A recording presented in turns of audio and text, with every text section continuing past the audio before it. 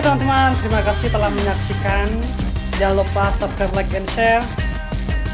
Saya Ibrahim Al Saya Assalamualaikum warahmatullahi wabarakatuh.